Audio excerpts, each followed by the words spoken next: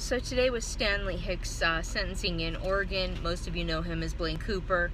Apparently some of these uh, fake patriots are a little upset that I shared one of uh, Blaine Cooper's famous uh, Jamie Spears Alba blah blah blah recordings that she used to put on Facebook for him all the time.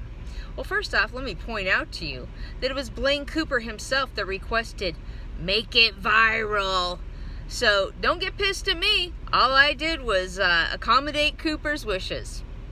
So, what many of you don't know, because you haven't bothered to listen to what I've been saying for two years, is Blaine Cooper is an asshole.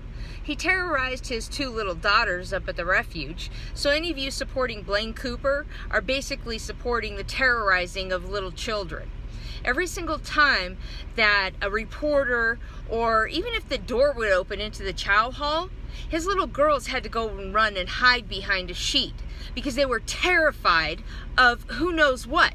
But uh, Melissa kept telling me, oh, Blaine doesn't want me to leave. He doesn't want me to take the girls. He wants his family here.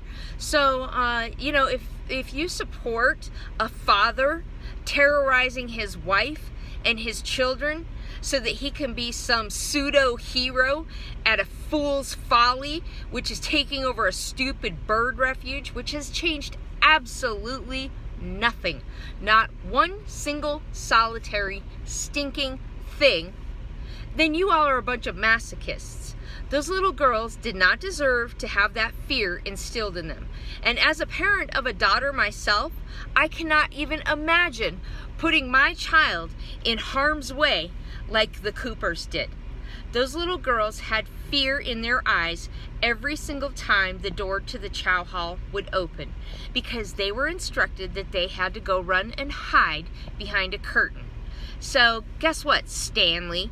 You still have Nevada sentencing left. And I'm to make a lot of things viral.